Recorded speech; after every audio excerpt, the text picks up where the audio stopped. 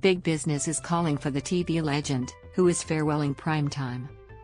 It was the announcement nine executives had been dreading for years, yet Tracy Grimshaw made no secret of the fact that she's long dreamed of a life out of the spotlight.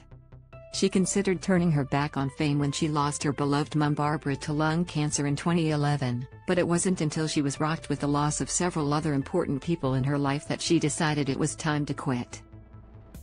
I'm not too old. I'm just a bit tired, Tracy revealed when she made the bombshell announcement last week that she was quitting a current affair live on the show that she has hosted for the past 17 years. Nine insiders reveal that Tracy wanted to quit her high-profile job two years ago when she turned 60, but let herself be talked into staying out of loyalty to the TV network that made her a star. Tracy is one of the most loyal friends you could ever have, and she loves Nine and appreciates all the opportunities she's been afforded over the years, but she just felt she'd given enough and it was time, a Nine staffer reveals. I know she's had to deal with some difficult losses over the past few years, which made her reassess what's really important. She's been thinking about her future ever since that terrible horse riding accident she had in 2015.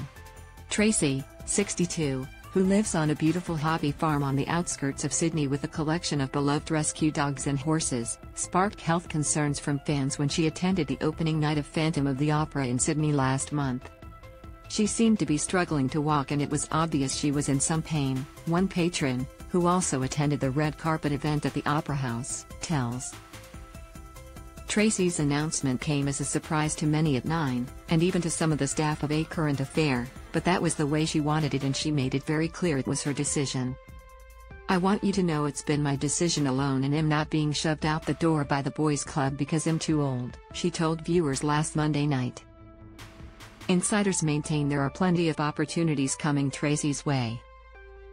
There are even current whispers the TV icon is being eyed off by her high-powered friends the Oatley family, who own Hamilton Island, to join their board. Her name has been floating around between them for some time, shares a source, who insists she could be set to make millions if she does break into the business world.